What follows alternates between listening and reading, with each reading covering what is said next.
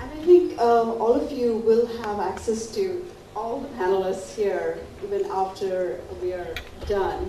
So please feel free to talk to all of them. I mean, um, you have Art Asia Pacific's, you know, editor and publisher right here to talk about any, you know, forums on writing or curatorial practice, education abroad, or get hold of him in the home ground and make sure, you know, there uh, he he and other people in this room can make a difference to the art scene here.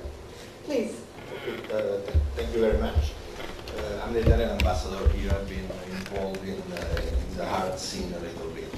Uh, and I think that it would be important and very useful for the artists here to be very honest with them and try to sort of separate an ideal uh, uh, landscape from, from the reality. For example, you were mentioning that it would be very useful to have a curator from outside coming here for three months uh, and, and, curate a show. Of course, it would be uh, an ideal uh, step, but we know that a quality curator will not come here for three months. Therefore, I think that for the Bangladesh art scene, on one hand, it should be very, it would be very important to uh, try to to use bad word, but to use and to utilize the, their artists that have been uh, working and living abroad, and then, and, and, then they came back here. Munir was an example, one is another example. We have a few of them. And I think that the experience that they got in Europe or in the States for a few years could be very useful here. So I think that they should be somehow integrated even in the fine arts and in the universities to, to really to, to give their experience and to teach to the students here how the how the Western art market uh, works.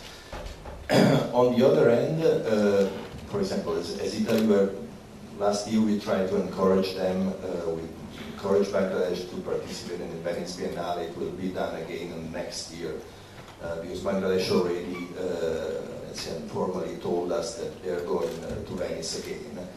Uh, again, we have to be very honest with the artists. To go in the international art scene, it's a, it's a painful experience. It's not a, a, a wonderful experience because if they face with the international market, they will realize that there are not 1,000 artists that are at the international level. There are maybe two, three, ten, maybe, but but that's the that's the game. So I think that it's uh, very important that we encourage them in uh, in every possible way. But I think that at the same time it's very important that we tell them what is the the reality that they are going to face. They have to work hard. I've known many artists here which are good artists, but in my opinion, they do not work as hard as they should. They have to go. Uh, they have to be very determined. They, they, they don't have to stop at the local market. If they want to be an international level, uh, it's their effort. They, they cannot wait for somebody to come from outside, pick them up and, uh, and put them in London and Europe. It's their task. Thank you very much. Those are very encouraging words. And to Bangladesh, let us all the next year. That's the future. Thank you.